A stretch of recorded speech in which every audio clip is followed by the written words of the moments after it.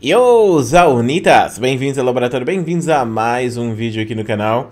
É, meus amigos, tá saindo da jaula o monstro. Finalmente a Riot liberou pra gente o novo Vôlei Urso. Ontem a Riot fez uma live que deu muito problema, muita gente ficou com raiva. O bagulho teve 18 mil dislikes. Provavelmente foi um dos maiores fracassos da história da Riot. Porque além de ter sido um bagulho estranho, ainda deu crash no meio lá, foi um bagulho muito triste, né? Mas o Voliurso ele foi lançado, né? Pelo menos entre aspas, porque ele ainda não entrou no PBE nem no jogo. Mas pelo menos a gente já sabe um pouco sobre esse personagem. E a Riot ontem, na Surdina, eles refizeram a história do personagem. Eles postaram uma nova história lá na página do universo. Então vamos comentar essa história aí? Será que o Voliurso ficou melhor? Será que ele ficou pior? Se eu gostei é muito importante, deixa ele no começo do vídeo. Não esquece de se inscrever no canal do, do, do laboratório. E um pequeno disclaimer, clã, tá rolando um evento do Voliurso dentro do jogo. Então, se você jogar Aran, você pode ter a chance de ver o Voliurso ali batendo na ponte do Aran, ok?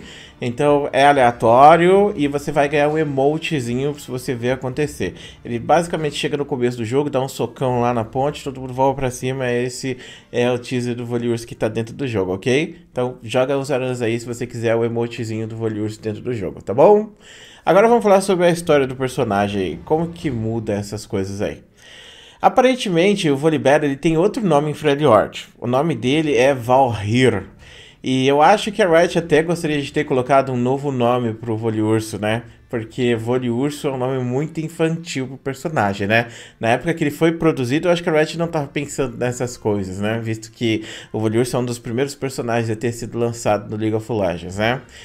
Bom, enfim, o Voliurso é a manifestação da destruição e da tempestade. Ele representa a fúria de Freljord, não a fúria dos humanos, beleza? A fúria da natureza de Freljord. Em tempos primordiais, o Voliurso e seus irmãos semideuses, que no caso Orne, Anívia e muitos outros, tem uns 8, 9 irmãos, eles criaram o que a gente chama hoje de Freljord. Eles criaram muito antes dos mortais existirem em Runeterra. Certa vez, o Voliurso, ele lutou contra uma serpente de magma chamada Round. E essa luta entre os dois acabou formando o primeiro rio de Freljord. E esse é um grande alívio, né? Porque muitas pessoas achavam que o Voliurso ele criou o primeiro rio de Freljord de uma maneira bem diferente. Porque uma das frases do Orne é justamente essa. Bom, o ponto é, agora a gente sabe que a serpente Round, né, ela morreu e o sangue dela acabou formando o primeiro rio e a carcaça dela acabou formando as montanhas de Freljord, né? A parte principal do Voliurso é que ele gostava da selvageria, ele gostava das coisas puras, né, sem ter civilização e coisas do tipo.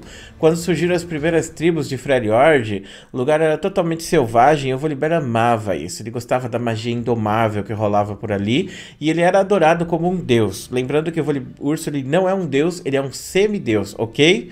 E agora vem algo muito interessante que vocês vão achar bem surpreendente.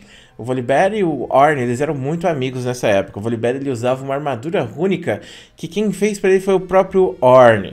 Ele ajudava e lutava pelos seus adeptos, que no caso ele chamava de Ursine. Então, no caso, os Ursine, eles, eu não sei se eles são imortais, mas eles são tão antigos quanto a própria Freljord, que é, pô, caraca, tempo pra caramba, hein?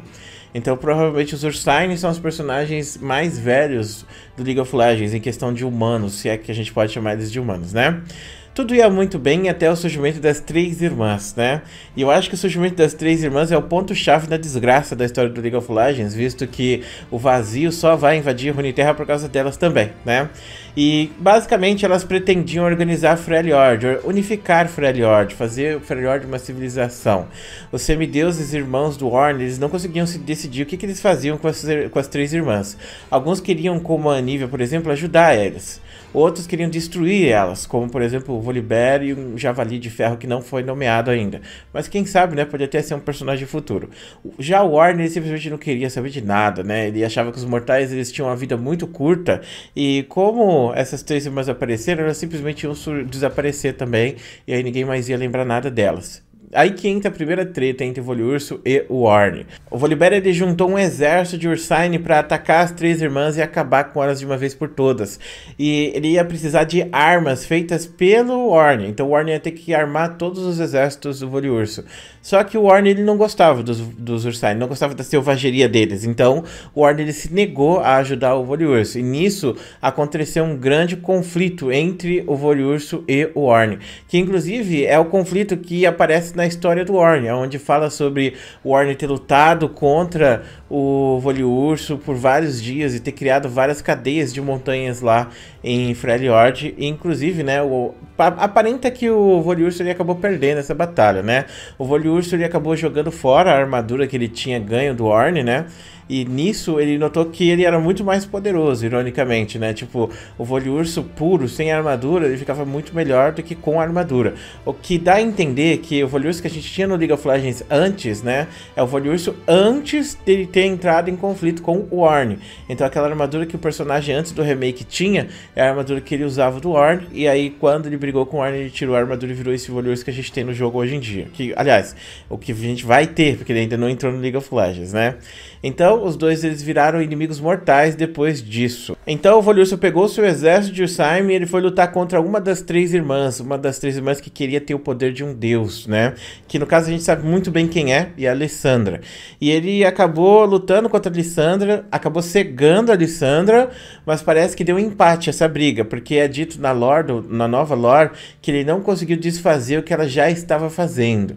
E para quem não sabe o que é isso, é basicamente o pacto que a Alessandra tinha com os os observadores que deixou as três irmãs imortais. Então, se o Orne achava que elas iam morrer rapidinho, olha aí, agora já era, né? Porque elas vão ser imortais também, né? E o tempo foi passando, os seus deuses eles foram sendo esquecidos pela cultura, as três irmãs foram sendo cada vez mais respeitadas e reverenciadas por toda Freljord, até os mortais passarem a cultuar as três irmãs e não os semideuses antigos.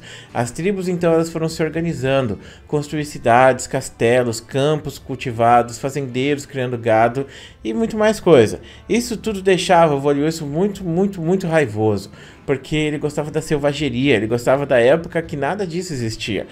Freljord não era mais a Freljord que o Voliurso amava.